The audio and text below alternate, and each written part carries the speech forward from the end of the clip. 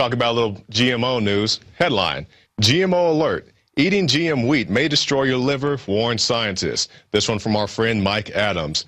Jack Heinemann, biologist, said he has polished an eye-opening report that details this warning and calls for rigorous scientific testing on animals before this crop is ever consumed by humans. The enzyme suppressor in wheat, he says, might also attack a human enzyme that produces glycogen. Consumers who eat genetically modified wheat would end up contaminating their bodies with this enzyme-destroying wheat, causing their own livers to be unable to produce glycogen, a hormone molecule that helps the body regulate blood sugar metabolism. Continuing.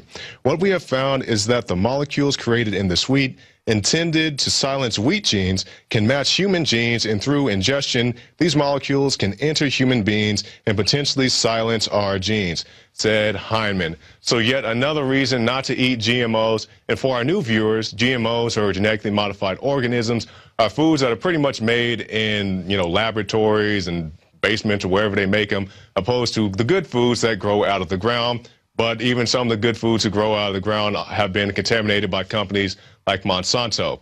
And one of the things these big companies like Monsanto are trying to do is they don't want you to know that you're eating genetically modified foods. So what they're doing is they're trying to push a campaign where they don't have to label their food as being genetically modified.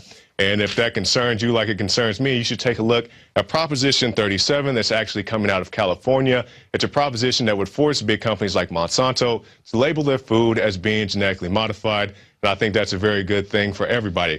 Actually, for some more news on that, we just had Linda Weston here a second ago, but she did a great report where she talked about genetically modified organisms. The report is titled Media Cultivates GMO Lies where she had a chance to interview Anthony Gucciardi. And speaking of Anthony Gucciardi, we have a story from him.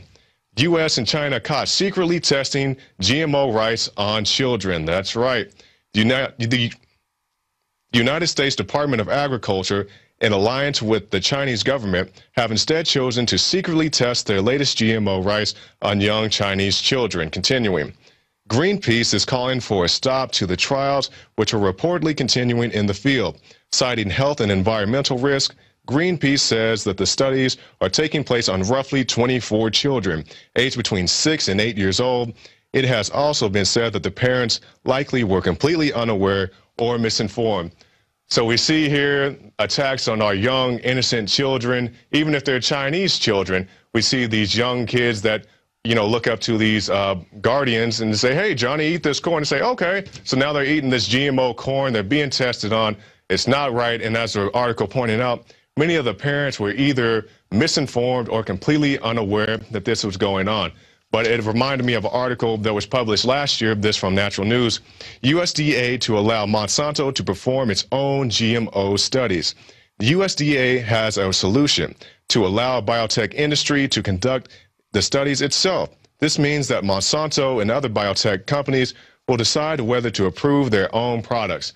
That's the most ridiculous thing I have ever heard. How can you let a company approve their own products? If you're a hot dog vendor and you want to sell hot dogs in the city of Austin, or at least in the city of Tulsa, I know you have to go get a license to do it, but they let these big companies approve their own products. So I guess that's how the USDA justifies our action. Well, Monsanto, they get to check their own stuff. So at least we'll test it, even though if we go test it on poor little Chinese kids, at least we're testing it. So disgusting action from Monsanto and the USDA.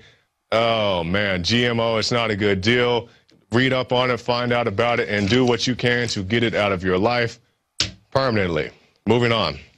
U.S. totalitarianism loses major battle as judge permanently blocks NDAA's military detention provision. Chris Hedges sued President Obama in the recently passed National Defense Authorization Act, specifically challenging the legality of the authorization for use of military force. Continuing. When in a 112 opinion, Judge Forrest turned the temporary injunction following an appeal by the totalitarian government from August 6 into a permanent one. The permanent injunction prevents the U.S. government from enforcing a portion of Section 1021 of the National Defense Authorization Act's Homeland Battlefield provisions. For those of you who are not familiar with the NDAA, it basically gives the president dictatorial powers where they can arrest, uh, black bag, disappear anybody they want, no judge, no jury, no due process.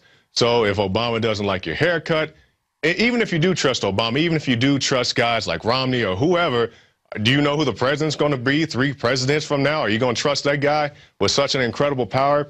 And we see here, if we look back at the article, there are many people who don't. One of the people being FBI Director Robert Mueller. He said that he was against the NDAA, or at least this one provision of the article, Section 1021, because it would make it harder for him to prosecute the people he needs to look at.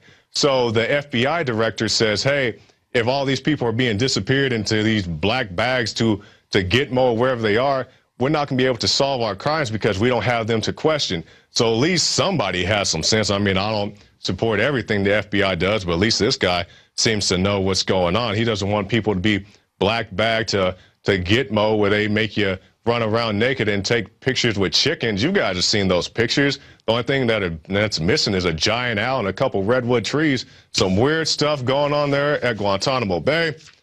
But hey, I guess that's the new America.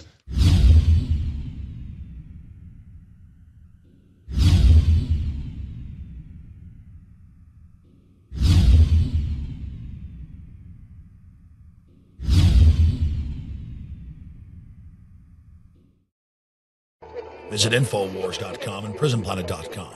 When you're on the site, you can also tune in 24 hours a day to my daily radio broadcast. There's also a free iPhone app to listen to the syndicated radio show when and where you want.